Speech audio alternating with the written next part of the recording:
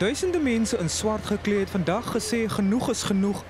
Hulle het nou genoeg gehad van die toenemende aantal moorde en misdaad op plase. Dit kom nadat Joubert Conradi, 'n boer van Klapmuts, verlede week in sy plaashuis vermoor is. Sy weduwee, Marlene, het ook vandag deelgeneem aan die protesaksie. Duisende voertuie het na 'n kort byeenkoms in Klapmuts in 'n groot konvooi na Kaapstad gery. Ons heel oorspronklike doel van dit is is unity, dis eenheid. Dis eenheid om te sê ons staan saam, die gewone ou staan saam. Gewone ouens, die man op die grond sê genoeg is genoeg.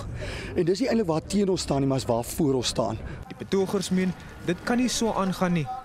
Ek dink vandag is baie belangrike dag vir ons om op te staan vir dit wat in ons glo. Um as ek kyk na die woord dan sê die woord vir my dat ons geveg is nie teen vlees en bloed nie maar teen die bose magte van die duisternis. Maar vandag gaan vir my daaroor dat ons 'n bewusmakingsdag het dat ons die duisternis uitoorlê het. We're under attack. Our small holdings and our farms are under attack. We've had two murders within the last year. We've had over nine farm attacks. Um, I had a lady that wanted to come today. But she was hit with a machete. She's too scared to leave her small holding. And I'm here to represent those that unfortunately can't be here.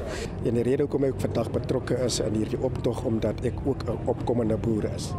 En uh en ek kan dit nie meer hanteer en wat nou aan die boere gebeur is met die al hierdie moorde wat so plaasvind. Die Weskaapse Allier vir Gemeenskapsveiligheid, Dan Plato, was ook by die eindpunt in die middestad.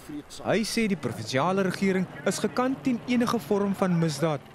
Ons ondersteun ook Hannover Park en Mannenberg waar baie van ons bende verwante moorde plaasvind. Vandag is dit die beurt van die blanke gemeenskap oorwegend vir ons om hulle te ondersteun. Ons elke gemeenskap is vir ons van kardinale belang. Dit maak nie vir ons saak of die gemeenskap blank of bruin of moslim of swart is nie. Feit van die saak is ons condemn, ons veroordeel alle soorte van geweld in die Weskaap. Plato sê hy hoop om met alle rolspelers in die landbousektor te vergader om die pad vorentoe te bespreek. Percival Young, Enis, Kaapstad.